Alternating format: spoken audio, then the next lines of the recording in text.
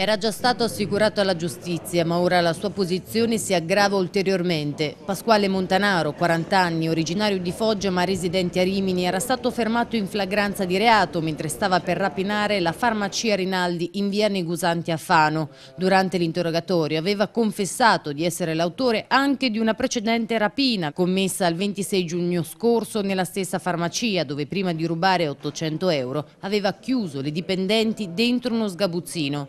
Aveva messo a segno inoltre un colpo in un supermercato in via Tito Speri, sempre nella città della Fortuna. Montanaro era stato messo in libertà solo lo scorso mese di marzo, dopo aver scontato sei anni di carcere per altre rapine compiute in farmacie nella città di Pesaro e dintorni. Ma le indagini in questi mesi sono proseguite da parte degli agenti del commissariato di Fano, coordinati da Stefano Seretti. Un'attività di indagine che ha permesso di addebitare a questo malvivente, un rapinatore seriale professionista del delle rapine e altri dieci colpi. E, um, aveva colpito un po' a raggiera lungo, spostandosi da Rimini dove, dove risiedeva eh, quindi nord delle Marche, la provincia di Pesaro Urbino e anche nella stessa Romagna. Forlì aveva fatto quattro colpi, a Rimini, a Rimini e Riccione altri due colpi, altri due colpi qui a Pesaro nel capoluogo e altri tre colpi praticamente a Fano. Questo nell'arco di due mesi, due mesi e mezzo, non, non più di tre mesi. Il suo modus operandi era più o meno sempre lo stesso, rubava auto, scooter per spostarsi, selezionava in particolare le donne come sue vittime e le minacciava con un taglierino o con un grosso cacciavite. Addirittura quando il primo giugno scorso aveva preso di mira il supermercato AEO, durante la fuga a bordo di un'auto aveva causato uno scontro frontale,